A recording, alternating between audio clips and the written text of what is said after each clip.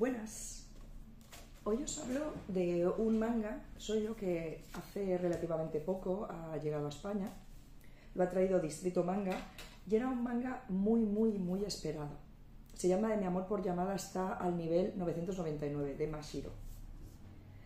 Yo no conocía esta historia, había estado viendo en redes, leyendo reseñas y sobre todo eh, leyendo sobre el anime que a muchísima gente le gusta, que le parecía adorable, que era una historia muy simpática y tenía muchísima, muchísima curiosidad. Y me, compré, me he comprado el primer tomo. A ver, os voy a decir las cosas, o sea, lo que me ha parecido a mí. Lo primero que tengo que decir que esta es mi opinión, cada uno, habrá quien le haya gustado mucho, habrá quien no le haya gustado nada. A mí me, parece, me ha parecido una historia divertida, eh, bien, se lee, es ameno, se lee muy, muy rápido y está simpática, pero a mí no me, no me ha enganchado. No me ha enganchado porque la historia, a lo mejor la temática no es, muy, no es para mí. Pero os cuento un poquito de qué va. Eh, va, eh, la protagonista principal es Akane, esta chica de aquí, que es una universitaria, que inicia la historia que su novio la deja porque se ha enamorado de una chica que ha conocido jugando en línea a un videojuego y ha empezado a salir con ella. El hecho es que yo, mm, por lo que entiendo, incluso diría que le ha puesto los cuernos antes de dejarla. Claro, ella se queda súper chafada. Él es un gamer, eh, su, ahora su exnovio, es un gamer, le gustaba mucho, le intenta enseñar a jugar, pero la verdad es que ella había jugado un poco, se había quedado un perfil en ese juego que jugaba él, pero a ella eso no le llamaba mucho la atención. Entonces el inicio de todo es esa ruptura, el hecho de que eso a ella le duele mucho y sobre todo el hecho porque le está dejando por otra. Y ella decide por un lado eh, pura rabia empezar a jugar a ese videojuego otra vez, se mete en línea.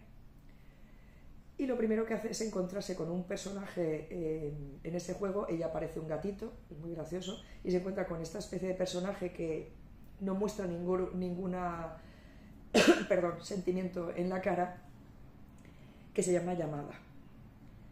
Y enseguida pues se engancha con él porque ella está entre que está rabiosa, está dolida, está todo y se engancha y este parece este personaje, la persona que está detrás de este personaje parece que no tiene ningún tipo de empatía, ningún tipo de sentimiento, parece que no siente nada. Esto es una de las partes graciosas de la, de la historia.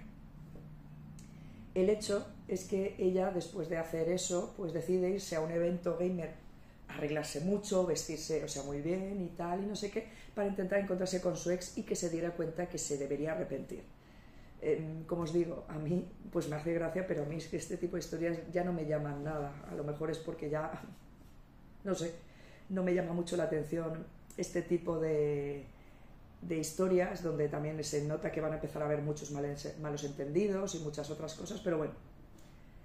Eh, el hecho es que llega a ese evento y en el evento descubre quién está detrás de ese personaje que había conocido en, el videojuego, que es Llamada, que es un chico muy atractivo, pero lo mismo, lo que os digo, es muy poco empático, o sea, no demuestra ningún tipo de sentimiento, parece ser que nunca está serio y que todos le resbala.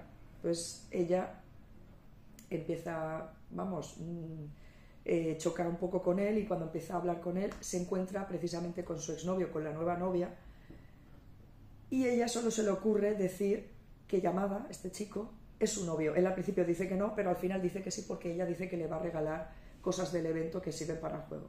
Él es un gamer total, lo único que le interesa el juego. Entonces, ese tipo de cosas de las relaciones, de las relaciones de pareja, de enamorarse y tal, se nota que no le interesan. Además, como os digo, no siente ningún tipo de empatía, está totalmente estoico ante cualquier cosa que pasa. Al final sí que dice que es su novio, el ex, se siente dolido, pero no por ella, sino porque es un total fan de este chico y que nunca le había contestado ni nada. O sea, la verdad es que el exnovio también está demostrando no tener eh, ningún tipo de sentimiento por ella y la verdad ser muy poco, o sea, ser un insensible impresionante.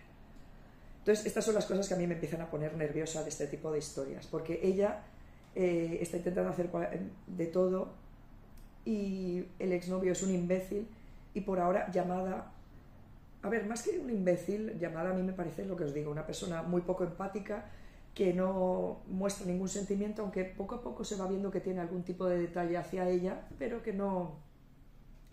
que eso de enamorarse, que nunca ha tenido novia y que no le interesa. Entonces, un poco empieza a verse esa especie de relación extraña que empieza a tener ella con él y también el hecho de que ella empieza a adentrarse un poco más en ese juego en línea y empieza a conocer a más gente. El hecho es que ella y Yamada están en el mismo gremio y empieza a conocer a otros personajes de ese gremio. Y al final eh, van a quedar para conocerse en persona.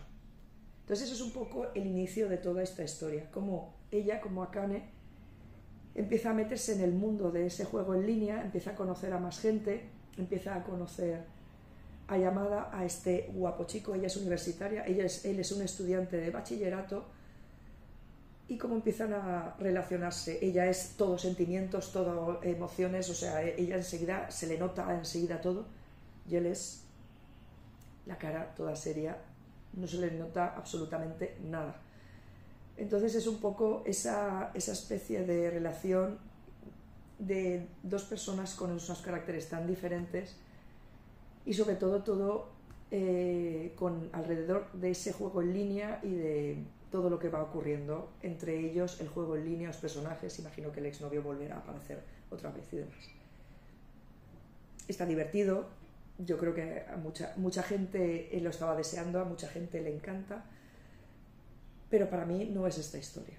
Tiene un dibujo muy bonito, yo creo que va a tener momentos muy divertidos, va a tener malos entendidos, va a tener momentos dramáticos, ella es muy dramática, y veremos cómo sigue esta historia.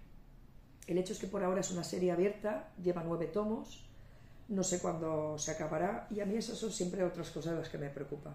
Cuando llegan series abiertas de manga a España, el hecho de ver si va a haber continuidad o no, si se va a cortar o no, si en España va a tener ventas o no y va a hacer que siga y sobre todo que siga eh, vendiéndose con una cierta periodicidad. Pero bueno, ya lo iremos viendo.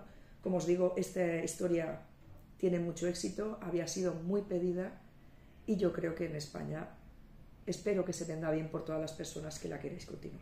Nada, espero que os haya gustado el vídeo y que me comentéis en comentarios qué os ha parecido a vosotros, si os ha gustado, si no os ha gustado, por qué os gusta. Nada, me encantaría saber vuestras opiniones. Y hasta luego.